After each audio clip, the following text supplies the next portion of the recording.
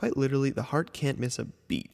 It beats about 2 billion times for a healthy individual over the course of a lifetime. And I think from those dramatic movie scenes where you see a nurse pick up what looks like two giant metal irons and thrust them on a patient's chest and shock them back to life, I think most people have a good sense for how important it is to keep the heart working. And that's the sort of thing that electrophysiologists deal with on a day to day basis the human heart rhythms. And the question is, what directs this rhythm or this pace of our heartbeat? Well, it's this really interesting system of electrical current in the heart, or moving charge, moving ions in the heart.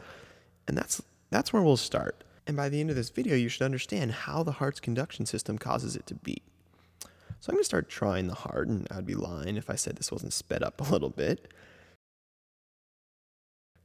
I'm also just going to draw a t-shirt. This will be in yellow just to give us some perspective. So we're looking straight at the heart, just like if I were to be facing you in a conversation.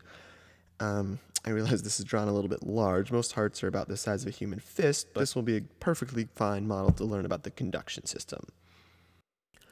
And what we need to remember is that the heart is the body's blood pump. That's its essential function. And thinking about CPR helps me remember this function because when the heart stops working, we perform CPR. And what are we doing? Well, we're, well, we're manually pushing on someone's chest to squeeze the blood out of their heart. So instead of the heart pumping itself to squeeze blood and push it to the rest of the body, we're literally pushing on their chest to do the job that the heart isn't doing.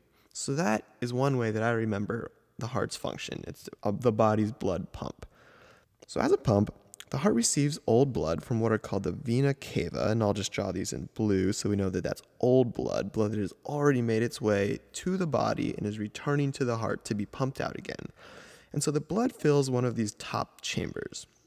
In this video, I'm going to talk about just the top and bottom chambers. So the top chamber receives this blood and squeezes so that the blood that was drained into this top chamber gets pushed into the bottom chambers.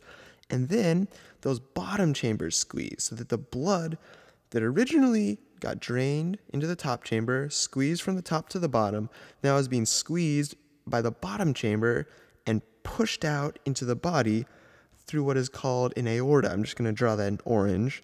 And that's a vessel that leads to all the different parts of the body. And that's how the heart acts as a blood pump, which we know is its essential function. And again, we also know that if our heart stops pumping old blood out to the body, we die. So it's our heart's electrical current system that makes sure that our heart is always beating. And that's why what electrophysiologists do is, is really important. It also happens to be really interesting. To understand our heart's conduction system, I'm just actually going to first erase some of these extra diagrams. Get a clean, simple picture, great. So now we know that our top chamber receives blood from the body, and then that top chamber squeezes, pushing the blood into our bottom chambers. And these bottom chambers then contract, pushing blood out to the body. And the cycle continues. The heart receives blood on top, that blood gets pushed to the bottom and then pushed out to the body and returns to the heart. So we know then that our heart's conduction system has to be set up such that the top chambers squeeze or contract. Then there has to be a delay so that the blood from the top can get, be pushed into the bottom, and then the bottom chambers contract. So the bottom chambers are contracting when they're full with blood and pushing blood out to the body. So it turns out that in the top right chamber, there's something called the sinoatrial node and it's been called the internal pacemaker for the heart. So think of it as a light switch. It's the light switch that starts the electrical signal that causes the heart to beat.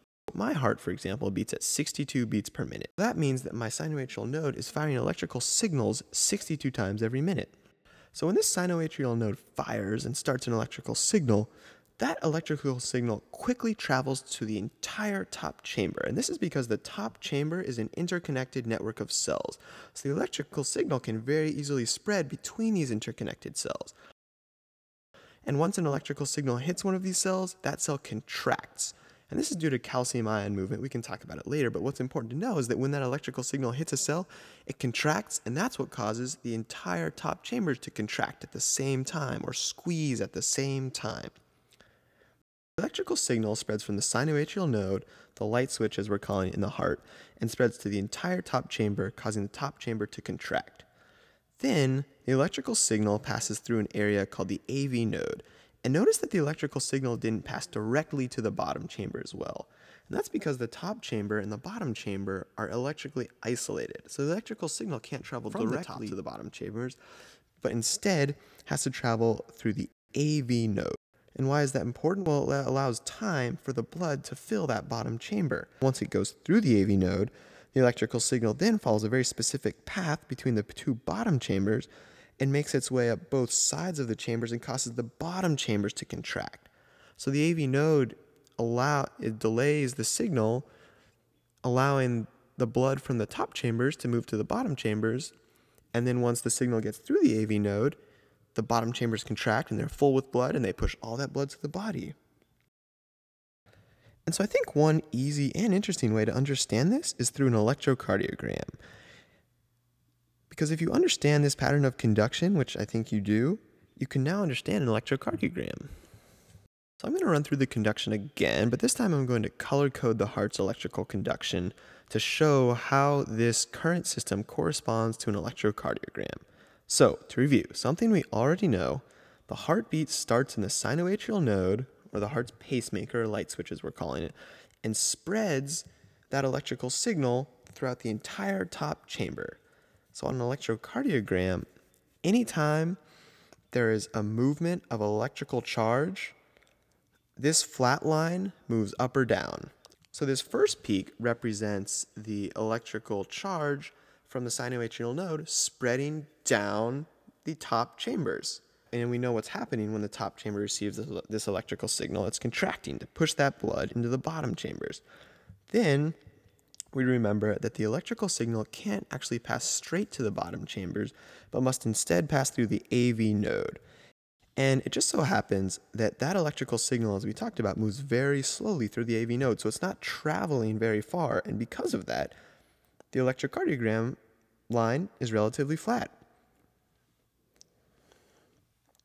So people call this the AV delay, and they're referring to the delay in the conduction at the AV node. But then the electrical signal gets through the AV node and into the bottom chambers, where the signal travels between the two chambers to the bottom of the heart and back up the sides, causing both chambers to contract. And we already know that the two chambers are already full with blood from the top chambers, so this blood gets pushed to the body. And we see that in these bottom chambers, the electrical signal travels a pretty big distance. And so, for that reason, there's this tall, sharp peak in the electrocardiogram. And the last little peak is a little bit more complicated. It's the repolarizing effect in the bottom chambers, and not really important to understand for this exercise. So just ignore that one for now. But really, if we understand these three parts of the electrocardiogram, the top chambers contracting represents the first pump, then there's the AV node or the AV delay where the electrical signal is pretty much paused, it's not moving very quickly. And then there's the large peak representing the bottom chambers contracting, that electrical signal traveling down the bottom chambers.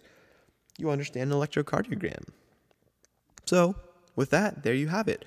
That is the basis of what electrophysiologists do on a daily basis, and it's really interesting and not that difficult to understand.